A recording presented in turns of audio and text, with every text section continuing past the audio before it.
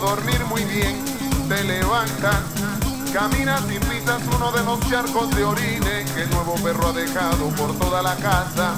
Maldiciendo entras al baño, brincando en una sola pierna, enciendes la luz y restriegas el pie sobre la cubierta que tu esposa le puso al excusado.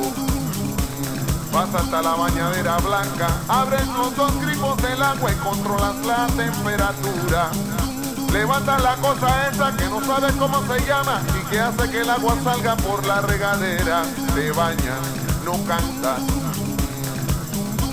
Sales de la tina, te secas con una toalla que dice Disneylandia. Te subes a una balanza que da pesos, siempre diferentes pero aproximados. Cuando te estás afeitando suena el despertador, eh.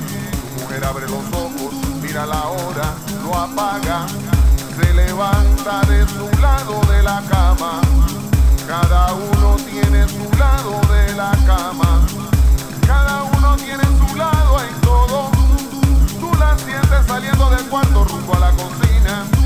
El vecino de arriba prendió el tocadisco. Terminas de afeitarte y te limpias las cortaditas con papel higiénico que se te queda pegado a la piel. Te pones el desodorante, 24 horas de protección constante, un poco de colonia para después de afeitarse, te arde la cara, sales del baño, pisas otra vez el orine del perro, le mientas la madre en voz alta, tu esposa desde la cocina te pregunta qué te pasa, tú le explicas gritando por qué no quieres otro perro en la casa.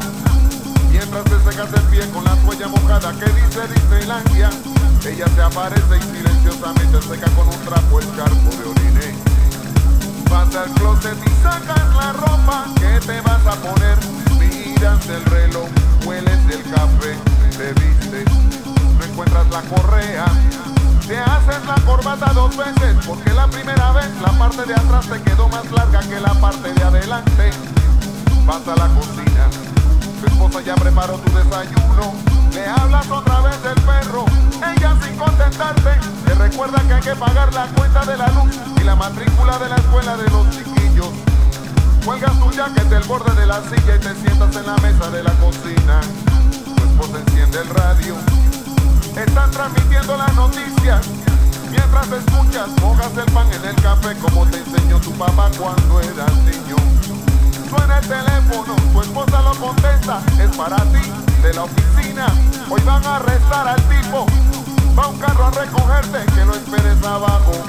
Cuelgas el teléfono, vas a tu cuarto, abres la segunda gaveta del armario, tu gaveta.